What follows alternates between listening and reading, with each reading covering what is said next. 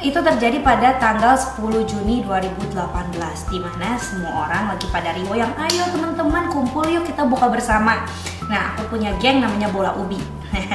Jadi singkat cerita Inta tuh tahu uh, semua teman-teman aku pada sibuk. Jadi uh, aku lagi riuh gitu ngurusin perintilan aduh sayang aku mau nyebar undangan aku mau nyebar bahan dan segala macam ya bla bla bla bla bla. Dia tahu aku pusing gitu. Tapi aku kalau pusing tuh kayak dibawa enjoy gitu. Tapi dia tuh kayak diam-diam menyiapkan sesuatu bersama teman-teman aku yang segeng. Lebih ke teman aku sih itu yang semua yang surprising jadi dia bekerja sama sama satu. Satu teman aku namanya Angel.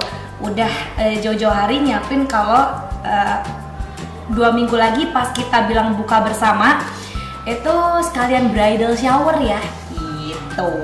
Nah terus ya udah pada kenyataannya aku datang pakai daster pink gitu kan. Karena aku pikir aku juga mau main ke rumah terus buka puasa dan tadi emang niat juga ah mau tarawih sekalian ah gitu kan.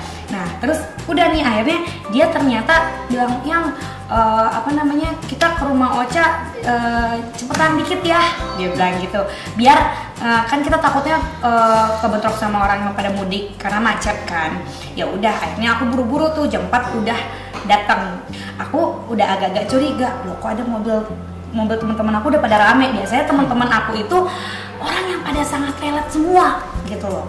Nah pas aku masuk tiba-tiba udah full dekor surprise bla bla bla terus Cika dan Indra bridal shower. Ada balon-balon ada teman-teman kita semua. Padahal teman-teman kita itu susah banget dikumpulin karena apa-apa itu semuanya pasti dari aku. Yuk guys ketemu bla bla bla bla bla.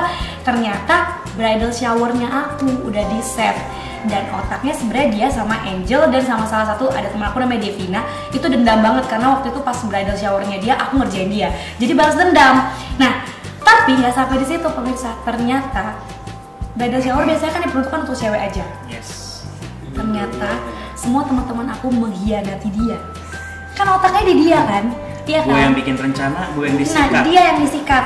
Nah, akhirnya ya udah terjadilah yang seperti sudah beredar di netizen.